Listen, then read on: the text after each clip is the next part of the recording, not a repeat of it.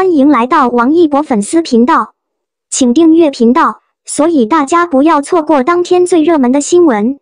我们今天的时事通讯包括以下内容：王一博最近的代言名字都可爱，王宝宝波波牛乳茶生气波波，王一博新代言预热，王宝宝品牌代言人，代言人的可爱要藏不住了哦。王一博最近的代言都让人有。你也知道自己超可爱，对不对的错觉？一会儿波波，一会儿宝宝的，生气波波，波波牛乳茶，王宝宝，王一博，这名字有一些代言，好像天生是为你而生的。